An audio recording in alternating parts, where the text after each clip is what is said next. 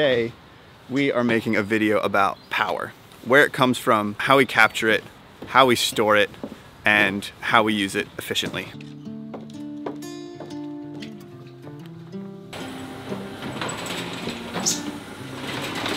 Morning.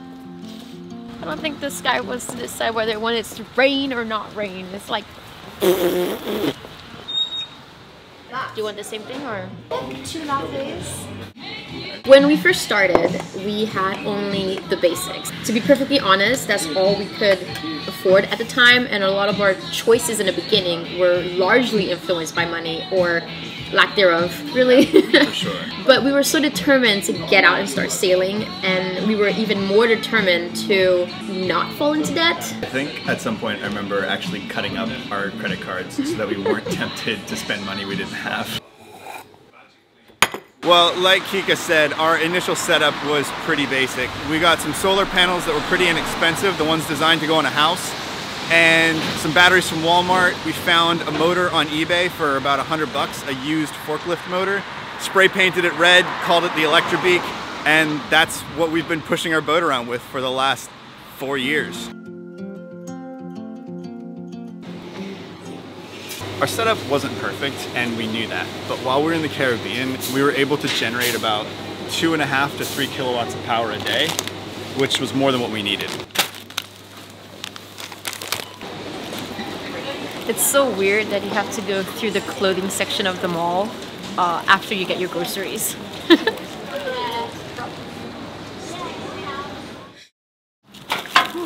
This is getting heavy. So in any given day, we use about 1.5 to two and a half kilowatts of power, depending on what we're actually doing that day. If we're on anchor, we're probably running our laptops quite a bit and the lights are gonna be on pretty late at night. And then when we're offshore, we don't use our laptops hardly at all, but we do run navigation equipment. So overall, it pretty much averages out, let's say, to about two kilowatts a day. All right, I got my stretch. Let's go.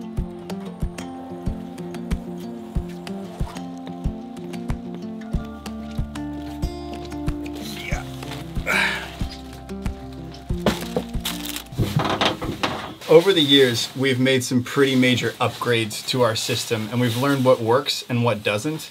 And now I think we've got what I would consider a pretty efficient system. We've upgraded our motor controller to get power out of our battery bank more efficiently.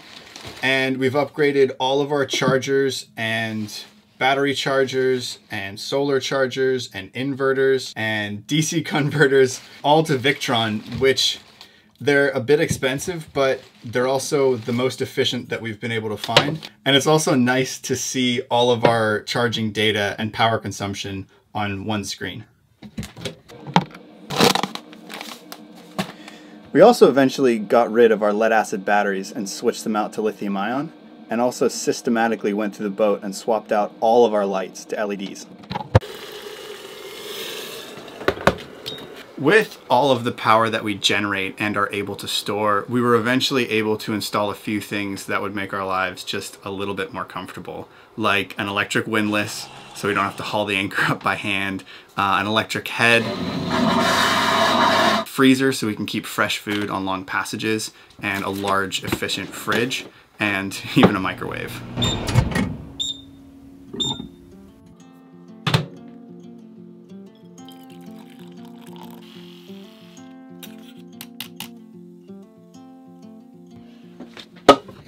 All right, guys, let's talk details. I guess we'll start with the basics, right? Our boat gets all of its power from the sun. Whether that's direct sunlight coming down, bouncing off our solar panels, or if that's heating up the earth and causing our wind to fill up our sails, the whole show is made possible by the sun. The rays come down, they bounce off our solar panels. That power is captured by both panels and it goes to our charge controller, which is Victron MPPT. And from there, it goes into our battery banks. We have 12 Battle Born Li lithium ion batteries, 100 amp hours each. That puts us at about 15 kilowatts total storage capacity. So here is where things get a little bit more tricky. From the battery bank, the voltage coming out is 48 volt nominal. So that gets split to a inverter, which is 1200 watts, and that goes from 48 and spits out 120 volts AC. It also goes to two DC converters, which are both 300 watts, and those spit out 12 volt DC. Now these two DC converters are wired in parallel so that if any one of them were to fail, we would still retain all of our 12 volt power. And all the heavier loads like our windlass, uh, hot water heater, and of course the electric motor all run directly at 48 volt DC. So they're not losing any efficiencies getting converted or uh, inverted to any other voltage. So we have some straight 48 loads coming off for hot water, the windlass, and the electric beak.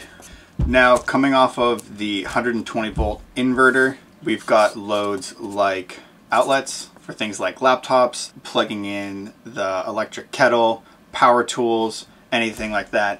Our inverter can put out 1200 watts consistently and it can peak a little bit higher than that for surge currents when you turn on an appliance. But we found 1200 watts is a pretty good medium. We can boil water, we can run all of our power tools, including the circular saw, and we can even run our microwave off of that. And of course, our laptops also need 120 volts to run, although they're both very, very efficient.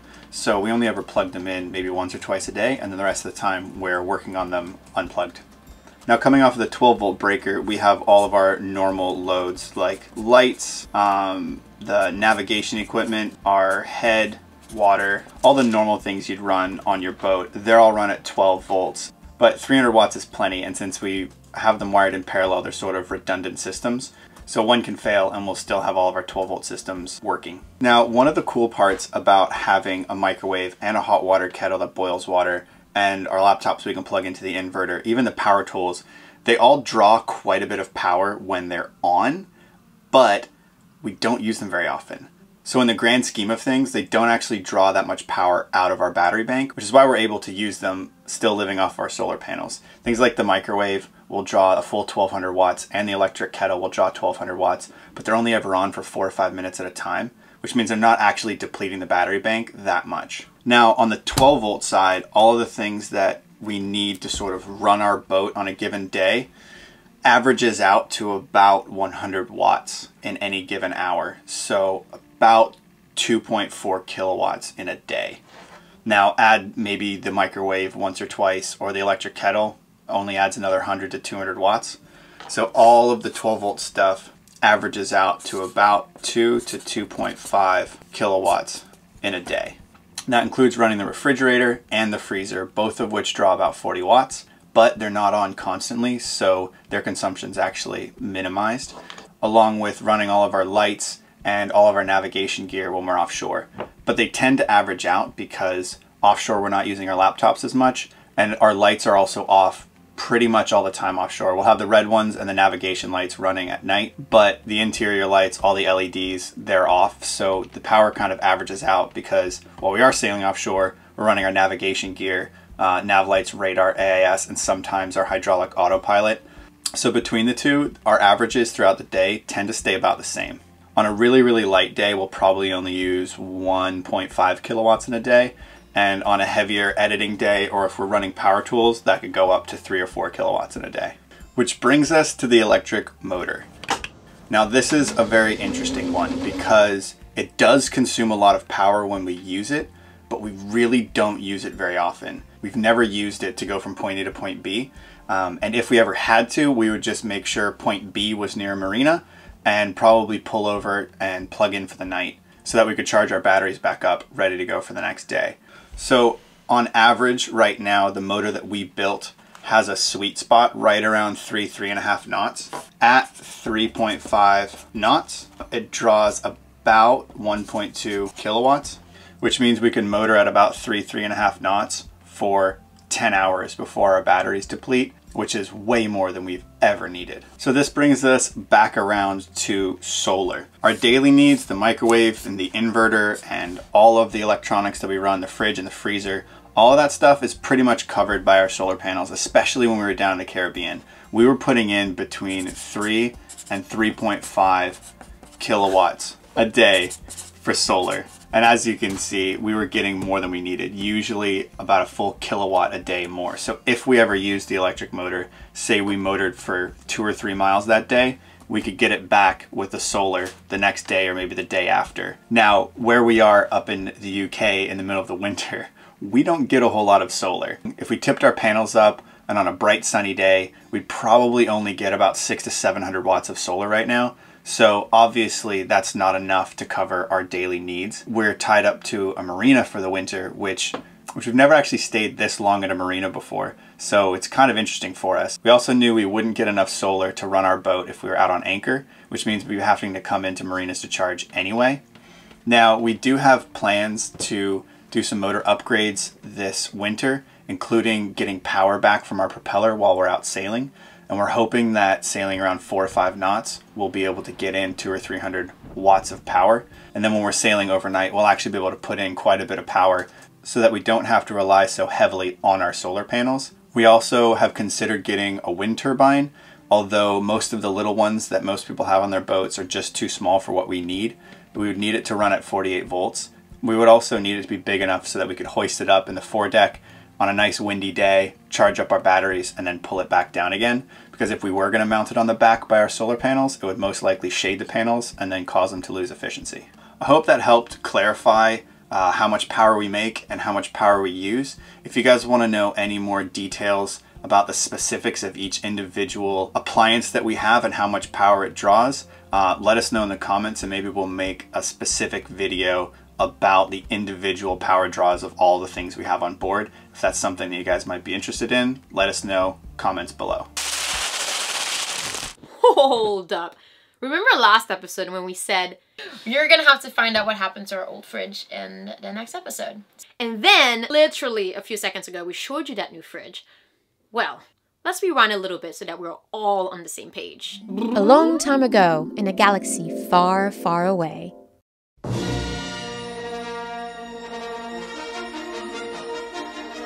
Wait, wait, wait. Wrong story. Once upon a time, we received a fridge from Dometic. And if you remember, it was a catalyst of our entire galley renovation. It worked out well and was very efficient, but it did have a few minor problems. The main one being the plastic hinges that broke quite early on. But since it worked just fine, we kept it. Now, fast forward another year, we found ourselves at the Southampton Boat Show when a few guys from Dometic came to visit us on our boat. We mentioned the hinges to them. Boom! Four months later, the newest model arrived at our doorstep.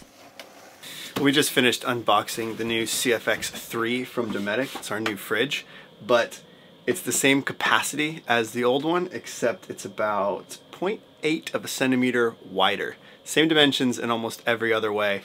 It's just a tiny, tiny, tiny bit wider, which means it's not gonna fit in the drawer that we built for our old fridge.